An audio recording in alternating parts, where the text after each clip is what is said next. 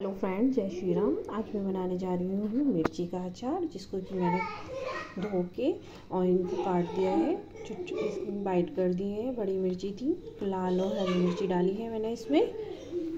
और इसके लिए मैंने मसाले में लिया है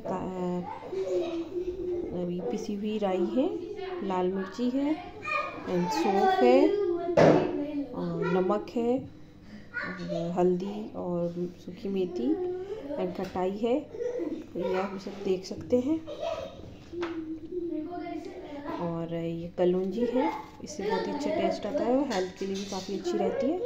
सो ये सब मसाले मिक्स करके और मैं इन मिर्च के इसमें भर दूँगी, मिर्ची में भर दूँगी एंड बहुत अच्छा टेस्ट आएगा। सो प्लीज़ मैं आपको दिखाऊँगी भरते हुए भी।